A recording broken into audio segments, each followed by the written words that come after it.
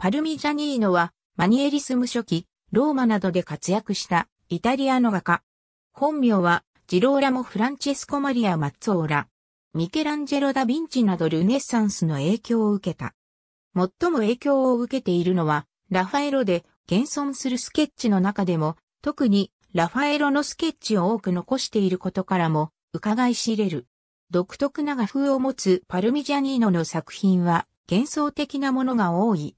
2歳で父を亡くし、叔父であるピア・ラリオに育てられるが、この叔父が芸術家であったために絵画を学ぶ機会を得た。